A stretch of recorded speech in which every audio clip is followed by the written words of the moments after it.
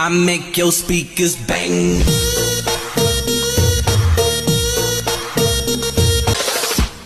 Video अच्छा लगे तो एक लाइक और चैनल को सब्सक्राइब कर देना तो वीडियो में enjoy- I make your speakers bang.